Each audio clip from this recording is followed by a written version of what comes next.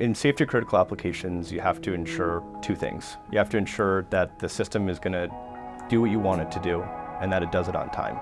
A real-time operating system does that.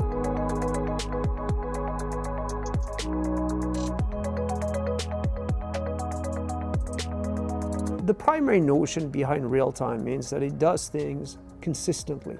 It's not 99% of the time.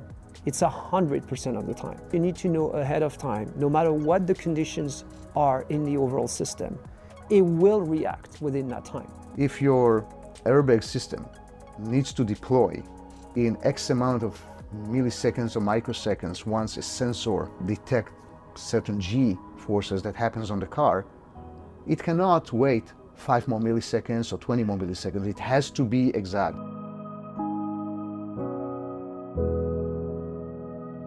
In an airplane, if you need to pull up, you can't wait a second for it to pull up.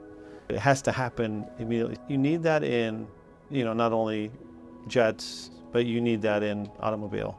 If you tap the brakes, you want the brakes to actually immediately react.